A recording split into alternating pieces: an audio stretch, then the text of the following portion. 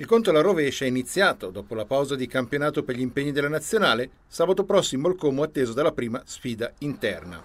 Alle 15 gli azzurri attendono il Bologna nel match che andrà ad aprire la quarta giornata di Serie A.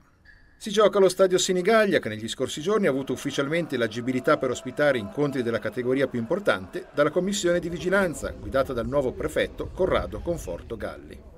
L'attesa è altissima, si sa, lo testimonia il tutto esaurito per la vendita degli abbonamenti. Dopo quelli riservati a chi aveva la tessera negli scorsi anni, tutti i posti rimasti disponibili sono stati infatti acquistati nel giro di poche ore. A questo punto, per chi vorrà vedere le partite interne dei Lariani, non rimane che affidarsi alla vendita libera dei biglietti, che saranno 3.800 in tutti i settori, ospiti compresi. Da un punto di vista strettamente sportivo, la speranza è che gli azzurri rialzino la testa dopo un inizio non troppo positivo. Non tanto per quanto riguarda il gioco, visto che le prestazioni con Cagliari e Udinese sono state abbastanza confortanti, ma il piatto piange in classifica con un punto finora conquistato che significa ultimo posto in graduatoria alla pari con il Venezia.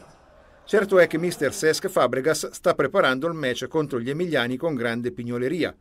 Porte chiuse a mozzate con amichevoli allenamenti tenuti ben nascosti.